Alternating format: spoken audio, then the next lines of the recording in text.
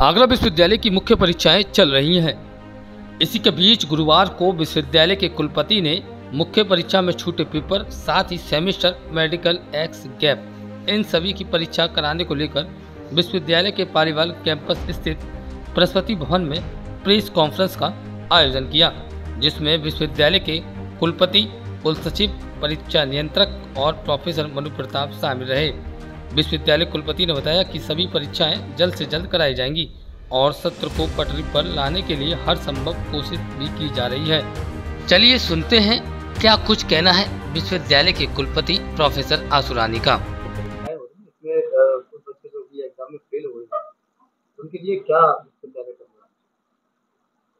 री एग्ज़ाम में जो बच्चे फेल हो गए उनको एक्स के लिए जो बैठाया जाएगा बहुत जल्दी उनकी परीक्षा कराई जाएँगी आगे उनको जो भी नियमानुसार मौका दिया जाएगा जो विश्वविद्यालय के नियम है उनके अनुरूप इसके अलावा जो बच्चे फॉर्म भरने से रह गए थे परीक्षा बारह तारीख की छूट गई थी।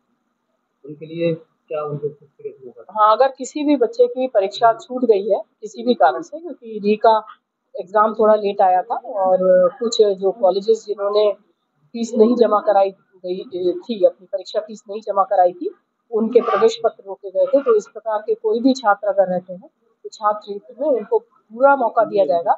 और एक इस तरीके से एक विशेष जो फॉर्म भरवा करके जिस भी बच्चे रह गए हैं उन सब की परीक्षाएँ कराई जाएगी।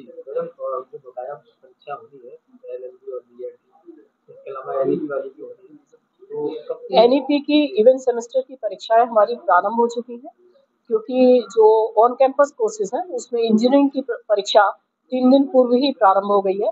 और शीघ्र ही जो यहाँ के डिफरेंट डिपार्टमेंट्स हैं उनकी परीक्षाएँ प्रारंभ होने वाली हैं।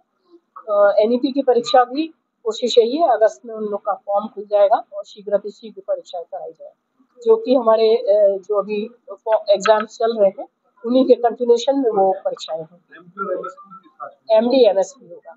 एम डी और एम एस की परीक्षाएँ भी शीघ्र लगने वाली है। परीक्षा केंद्रों में अभी भी कैमरे बंद होने की रही हाँ। है। ऐसे परीक्षा केंद्रों पर क्या प्रभावी कार्रवाई करनी है देखिए, जिन भी परीक्षा आ रहा है दो तीन बार जगह का जो जानकारी मिली थी और यहाँ पर भी देखा था जो हमारा केंद्र है तो उसमें उनका बिजली की, बारिश के समय में उनका पूरी जो लाइन है बिजली की, वो उनकी जल गई थी और पूरा का पूरा जो नेटवर्क है, वो उनका कंप्लीट खत्म हो गया है। तो दो तीन कॉलेजेस बारिश की जो, क्योंकि तो काफ़ी तेज बारिश है और दूर गाँव में कॉलेजेस हैं तो ये समस्या थोड़ी सी बिजली की इस बार आ रही है। तो कोशिश हमारी ये है कि हमारा जो सचल दल है, वो लगातार अ, रहेगा और वो परीक्षाओं की शुचिता जो है उसको अपना नियंत्रित करेगा।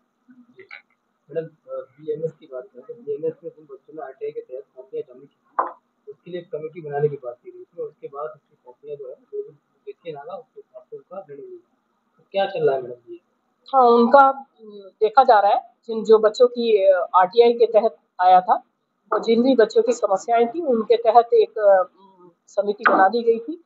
समिति के निर्णय के अनुसार उन कॉपियों का जो भी चेकिंग है कि उन्होंने जो समस्याएँ बोली हैं वो सही है या गलत है, वो कराया जा रहा है। और बहुत शीघ्र ही उनको मेरे ख्याल से इस हफ़्ते में ही उनको इसका सही रिज़ल्ट मिल जाना चाहिए।